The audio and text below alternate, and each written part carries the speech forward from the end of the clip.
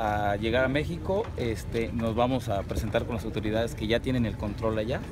Ellos ya nos van a instalar, nos van a, a ver, nos van a poner en, las- en los lugares donde están las necesidades y ahí pues, nosotros vamos a, a- a hacer el, el cumplimiento de la labor.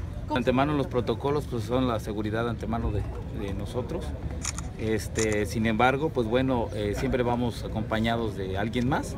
Eh, se, hace la, se hace el envío del perro, se, se proyecta el, el- escenario y posteriormente se proyecta el perro y se, se hace el envío. Eh, trabajando con perros llevo más de 20 años este, y con perros de rescate llevo 7.